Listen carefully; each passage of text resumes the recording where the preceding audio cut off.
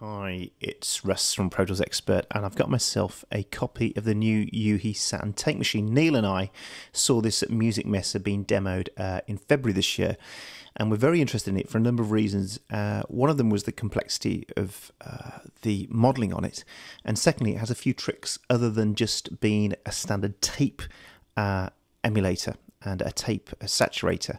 And so I want to show you those. So it's from U-He. Now, one thing you're probably going to be asking straight away is I'm running this in Pro Tools 11 and AAX 64-bit, and the way I'm doing that is I'm using the Bluecat MB7 uh, to host it.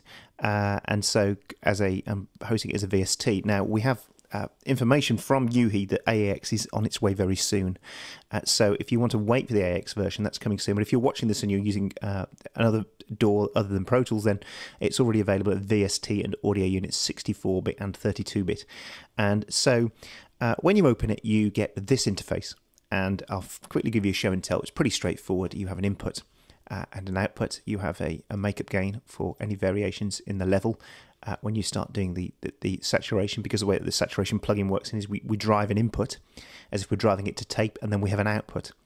Uh, so we have a makeup at the input stage, and we have a soft clip at the output stage, which is very helpful. We have an RMS reference as well, setting that we can use. We have metering in and out, we can set there. And we have two versions of tape, vintage and modern. Uh, and then down here, we have the speed. Uh, and if you start moving that, you'll see it going from 7.5 IPS to 30. Uh, we have the pre-emphasis setting uh, as well. We, all that can be modified here. And then we have this group section in the center where you can uh, choose groups. And so if you're putting all your drums through this, you can actually, on all the tracks, you can select, run them on the group track, and then they all work uh, in group mode. So they all have the same settings. Uh, so I've got two groups go going. I've got a, a, drums group so far and a kicks group, and then I've got some stuff that's independent as well. So you can do that, or you can say I don't want it in any group at all. Uh, which is very helpful. Uh, now, as well, you can bypass the tape and you can go straight through the, the, circuitry without hitting the tape, which is nice and is always a good option. Now, this is where it gets very interesting. The first really nice trick on this is it has a compander built in, which means that you can encode Dolby and DBX types in and out. Now, where that becomes useful, if you've got old tapes but you don't have the noise reduction system anymore, you can run the tapes into your DAW and then you can put this across and it will encode and decode it. So you can actually uh, get it back and then you can bounce it back with the encoding or decoding happening, uh, which is very helpful. Or you can just use it as an effect as well. So you can actually have tape with the original uh, Dolby and DBX type compressions as well. Uh, they call it the UHX, uh, which is really useful. Uh, generally, uh, just play with those. Uh, I first thing I ever had when I got into recording was a, uh, a Portastudio 244 and that had DBX uh, Type 2 on it, which was vile. Uh, so if I got all my old cassettes out and I didn't have DBX anymore, I could run them into Pro Tools, uh, four track cassettes, and put these across it and, and actually and encode and decode them, which is really nice. Then you can get right under the hood here and you can really start doing some geekery. Hiss, the asperity, the crosstalk, the wow and flutter, the bias, all of this stuff can be done. And then the circuitry as well, you can go through. In the headroom, you can choose the what type of circuitry, whether it's IEC, NAB, or AES standards. So you can really, really, if you want to, go geeky on this. Now, the other trick it's got, which is very nice as well, is it has three modes. It has the tape mode, as in studio tape. Then it runs as a tape delay, which is very nice. You can have effects, and then a tape flanger as well. Very nice. So they've really thought about this and really thrown everything into it, which is really nice. It's a very, very uh, feature rich product, which is really nice. And in terms of sound, it really does sound good. So I'm just going to play you a few things first. So here's, see if I get something like, uh, I've got this drum kit and uh, bass going. And I can either go through presets here,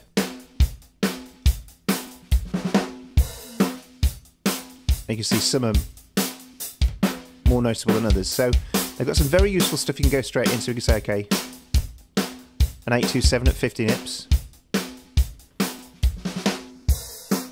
There's the original.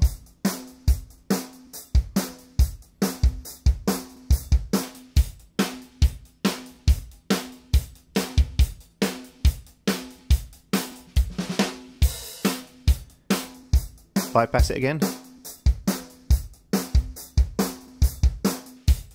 And what you'll hear on some of them is actually not only does the, the sound change in terms of the dynamic range and things like that, but also it starts to mess with the stereo image as well. Now you can start with one of these as a preset. You start one of these as a preset and then start messing with yourself. So you can start driving it harder or, or put it into vintage tape. So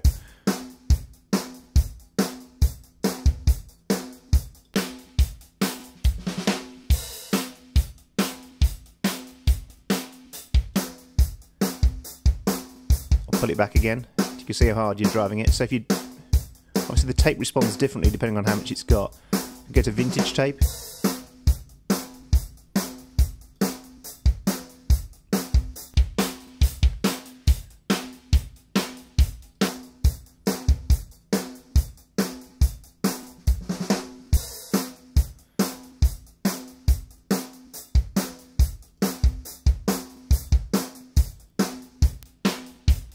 That's just the circuitry now. It helps if I take the bypass off.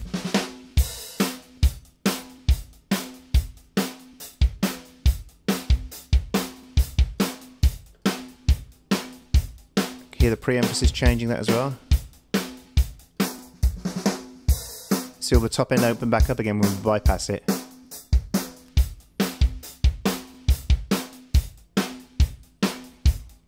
Let's go some individual instruments then. Let's just uh, get you up some kick drums for a second. Here's the two kicks which are working in a group together. So let's open it up. As I say, we're running it in uh, Blue Cat at the moment uh, as a, as a VST.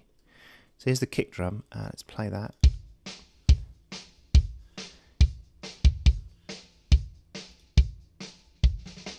There's the original.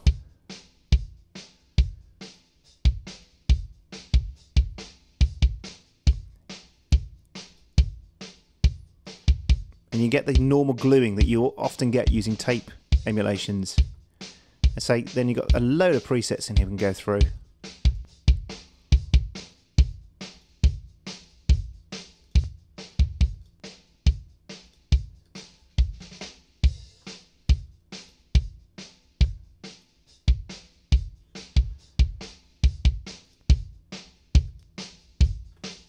A nice one.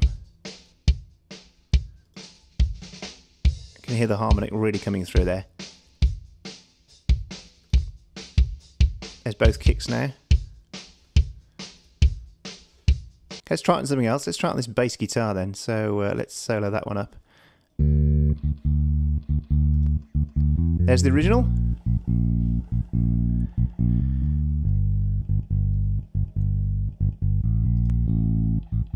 Really adding some tone into that mid, low mid.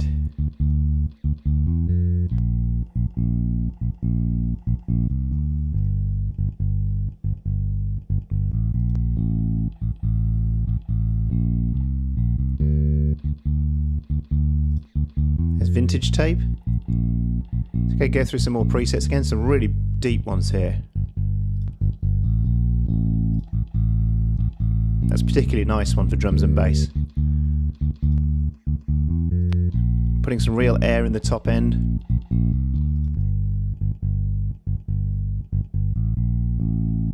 There's the original. Here it is.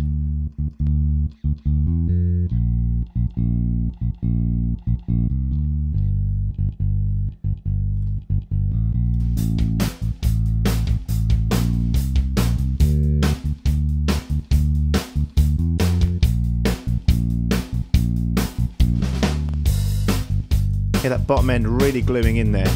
I hope you can hear this on uh, on YouTube. That's always a problem when I'm trying to do demos, especially if stuff that's very subtle, like tape saturation and stuff like that, because often the YouTube compression, by the time it's gone through that, it really can't make can't do it justice. And so what you might want to do is actually download the demo. Let's show you the effects now. Uh, let's go to snare drum here. Let's just plug it in as a. Uh, what I'll just do is just drag that down. Actually, it'll be quicker into here. And let's go to this as an effect now. And I'm just going to show you uh, this uh, in a couple of modes. I'm going to show you first in delay mode tape delay which is very very nice. So let's see what we got. Let's try some presets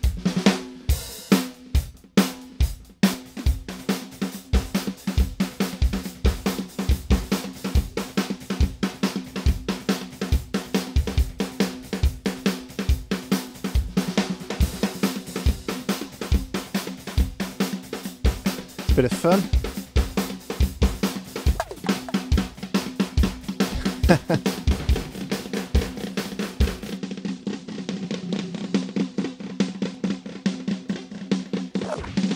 you can see we've got a tempo sync here as well, which is helpful.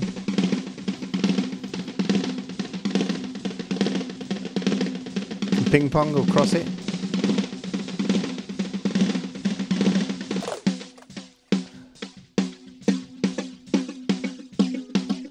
You see some fantastic presets.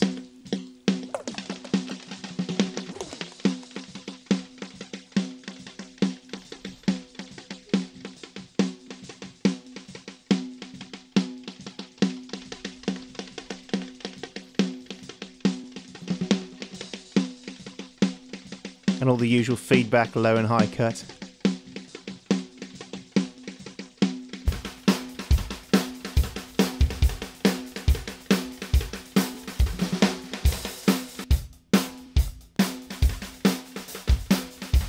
Okay, that's really making it some really cool sound there.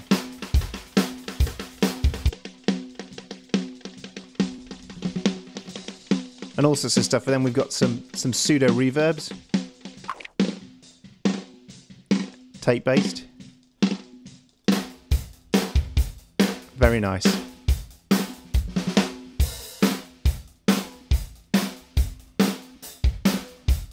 That's a really sweet room reverb made up of tape. Very, very nice. Of course, we've also got flanges.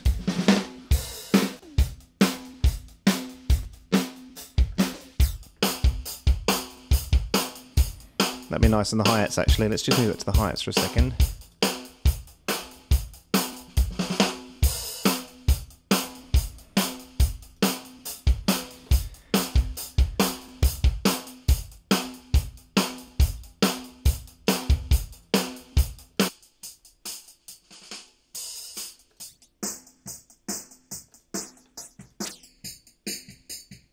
Very, very sweet.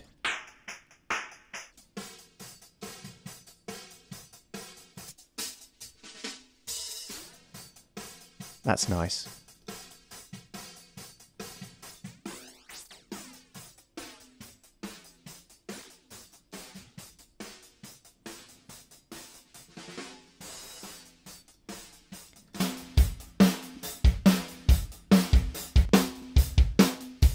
Because it's tape, it's got that really love thick, uh, really lovely thick sound.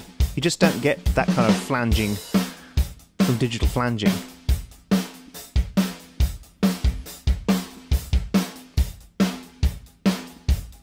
As you can see,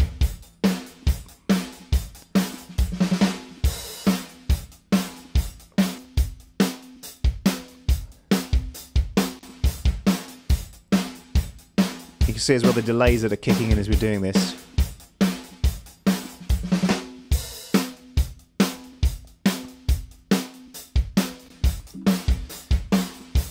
So as I say, overall, it's a really great package. It really does pack a serious amount of action into such a great plugin. And at the moment, they're doing a deal on I think it's $89 uh, on a special it'll be 129 and its full price. So you might want to get it in the bank now and either if you've got the mb7 from Blue bluecat running on that or if you want to wait then uh, or buy it and, and, just keep it in your repository until they go AAX which they say they're going to do soon that's cool. If you're not running Pro Tools you're running another DAW, then uh, obviously you can use it straight away. But well done you here. A big thumbs up from me. I think uh, I remember seeing it at Mess and thinking how really powerful it was but actually now playing with it I realise it is very very powerful. It sounds great. They've done a lot of great work on it and thumbs up to them a brilliant product. Thanks for watching and I'll see you again soon